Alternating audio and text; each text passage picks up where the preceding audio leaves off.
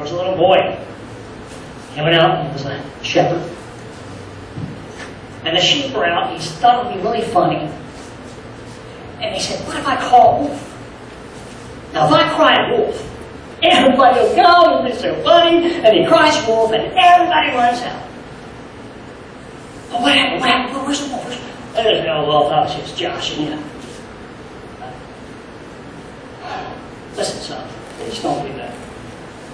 Okay, I'm sorry. Gabby goes away. He does it again and again. Finally, the wolf does come, and nobody comes to help. And Aesop and the stable, that's the story. The message of mitzvah, or mitzvah, the law is, don't be a liar. Because no one believes a liar even when they tell the truth. So you have the story, and you have the law. Now, in the Greek world, they have different names for them. Well, a spaceship. Now, they would call them, instead of uh, instructions or stories, which uh, the, the, stories would be something like pala or maase, or uh, there, there's some other words for what those are. And then, and then mitzvah. Now, they would call them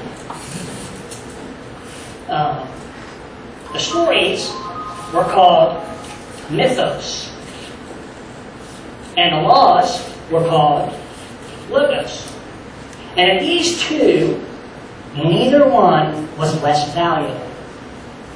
And imagine, you're going to class, right? Some of you are teachers in school, you work in schools. And imagine you're in class and you're a teacher and you say to the kids, now listen kids, we're going to talk about lying things, really bad things to lie.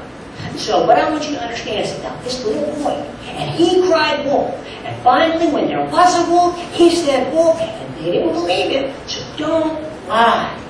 Because when you lie, people don't believe a liar even when they tell the truth. Now those kids are going to learn from that. Say, wow, that's a powerful story. You know, they understand story. And so they go home and they're talking to their parents and they say, Mom, Dad, listen, I learned that you're not supposed to lie. And, and if you do lie, the problem with it is that once you tell the truth, people don't believe you. Wow. That's wonderful. I'm so glad you found that. How did you learn that? Oh, it was a story. It was a story about a little boy and, and, and he was a shepherd and there, there were these wolves and, and but he lied and said there were wolves and then there weren't wolves and, and then there was a wolf and what? What's your teacher's name? Uh, uh, Mrs. Uh, uh, Mrs. Micklers. Mrs. Micklers? I didn't talk to her. Going to have a meeting. Mrs. Micklers, right? So, so she comes and she sits down and we're talking. Now, I want to know where you got this story. Now, is that boy real? Is that a real boy? Now, where would that those sheep be? And are there even wolves in those woods? Don't you tell lies to my kids. But that's what we do with the stories.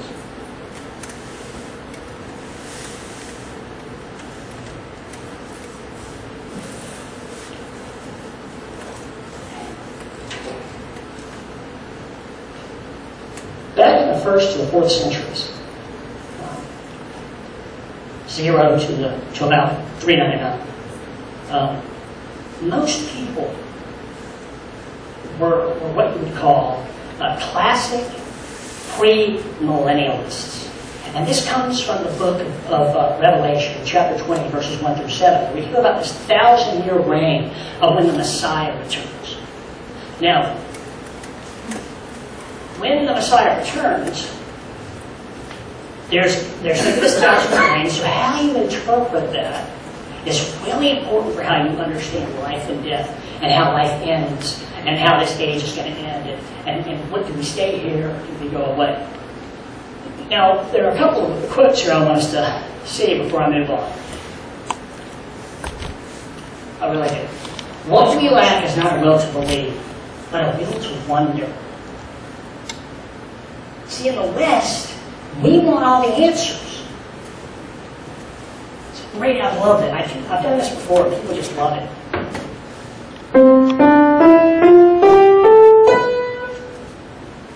Does that drive you crazy? Didn't finish it. Right? Sometimes sometimes we're supposed to finish ourselves. We can sing the note. They don't have to play it. We don't have to have all the answers. But about a thousand years ago, there was a, uh, a person who, who argued, he was something of literalist that we'll get to in just a second. And he said, well, you know, it's kind of a weird thing about, about the whole story of, uh, of Adam and Eve because all they wanted was knowledge. And they were like all the other animals. Finally, when they get the knowledge, they get banned. I mean, that's pretty stupid, don't you think?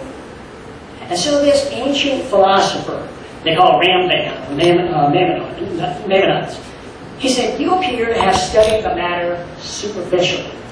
And nevertheless, you imagine that you can understand a book which has been the guide of past and present generations. When you for a moment withdraw from your lusts and appetites and glance over its contents as if you were reading a historical work or some poetical composition. What he's saying to them is this.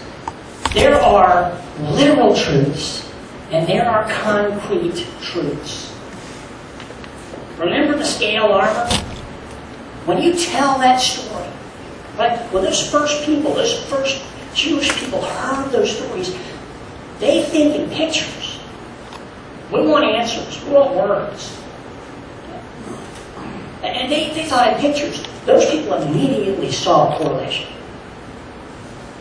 Scales.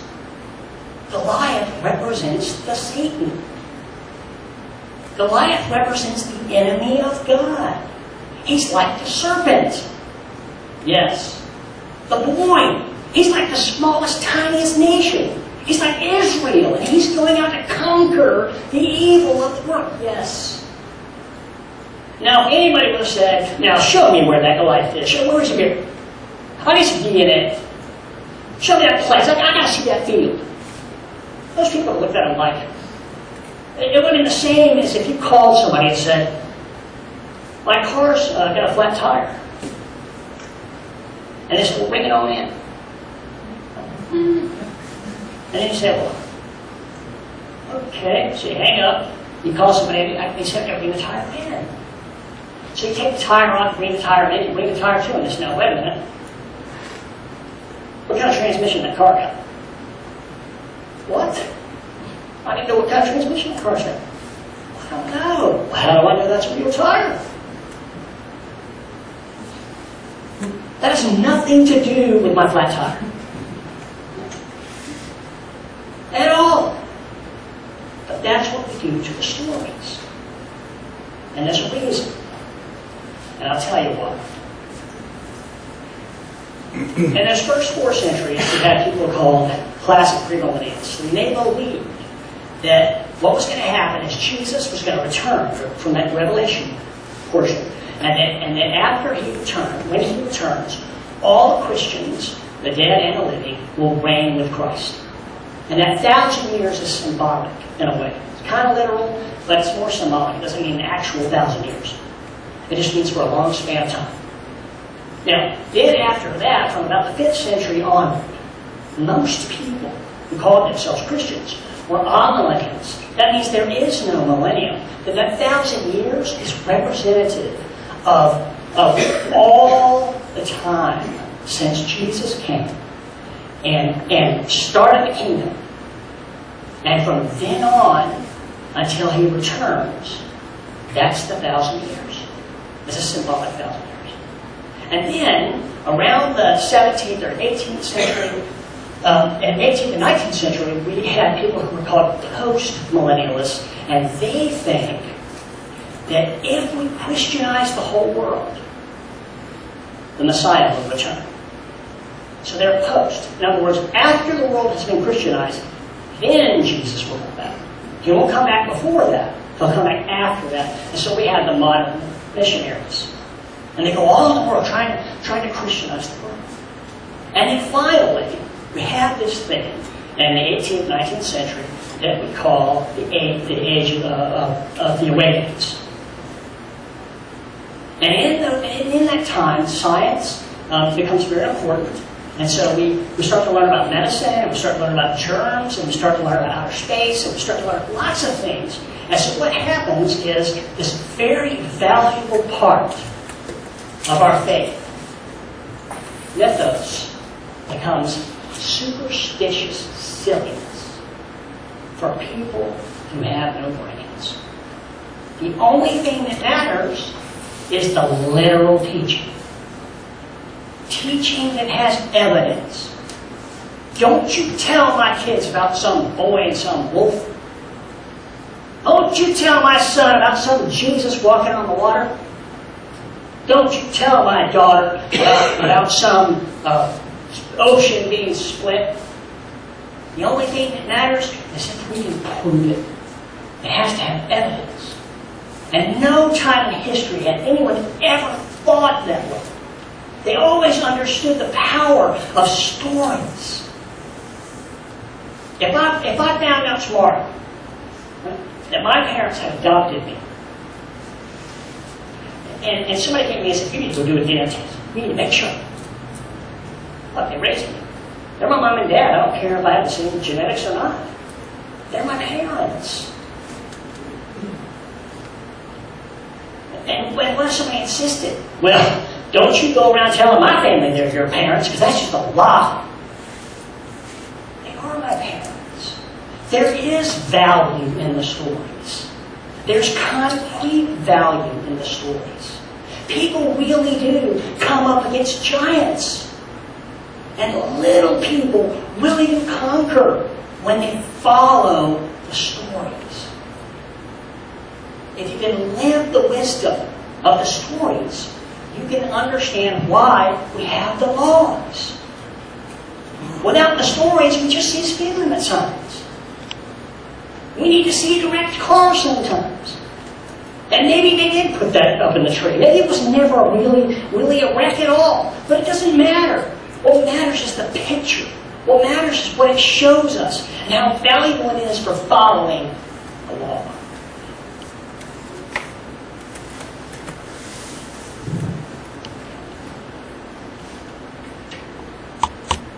This is an open book.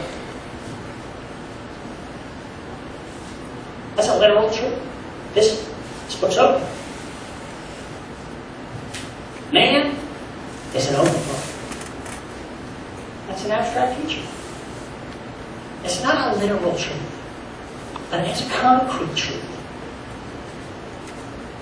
It means that people, man is abstract, figurative, it represents all people. It means that people, pretty much what you see is what you get. That's what that means. There is truth in that. I don't have to prove it. I don't have to show you evidence. Now, if I say this is an open book, then I need to show you. This is an open book. That's the law. That's the mitzvah. It's the literal truth. But there is concrete truth in the abstract teachings. And the point is, is not to say that the stories aren't true. The point is, is to say it doesn't matter to God if you think the stories are true, literally. What matters to God is that you use the stories to obey the law.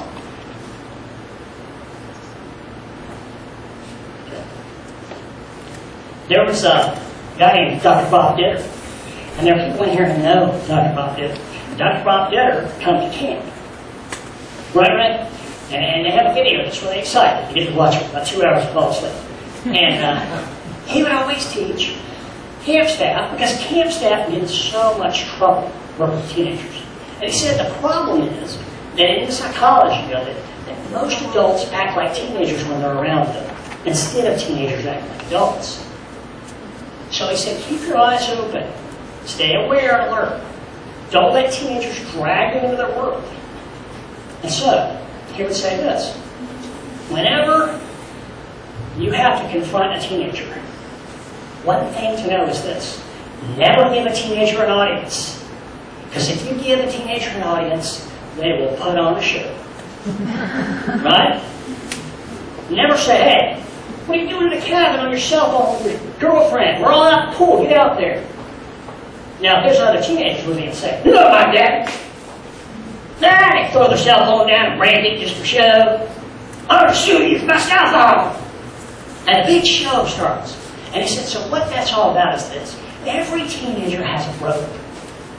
And he says, as soon as you ask them to do something and you give them an audience, they take that rope and do this. The temptation to grab it. And I said, because I told you to, and I may not be your daddy, but, and they're dragging you all over the cabin. and you entered that world. And he said, I'm game, I'll debate with you, I'll play all. And then during the Great Awakening, when they said the only thing that matters is logos, we said, okay, we'll play along. And what we ended up with was something called literalism. And literalism had two children atheism and fundamentalists. Both of these decided, let's take literal. Uh, oh, sorry. Mike, you Oh, that's all. Okay, yeah. Thank So I have a pretty face that you need to see. No. And, these two children here, look at her. Now she's been healed. And these two both are mirror images of each other. One says, it's all literal, and it's hogwash. You can't split oceans. People can't walk on water. That's ridiculous. We're just going to get rid of all of it. Silly. On the other side, they said, no, no, no, it's all literal, and it's all true. The Bible says it. I believe it. What? That's it. So we had two outcomes of literalism. One is the fundamentalist, one is atheism. But both of them believe that the scriptures, every piece of them should be taken literally. There's a problem with that. There are many genres in the scripture.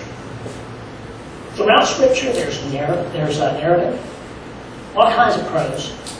Uh, there are dreams. There's apocalyptic language. There's poetry, songs, epistles. And in, in each of those, whether it's a letter or a, or a gospel or, or an apocalyptic teaching, there's a mixture of all those other things. So to say it's all literal is to say when God said He covers me in His wings, it's because He's part chicken. You can't take all of it literally. It's not meant to be literal, but it is meant to be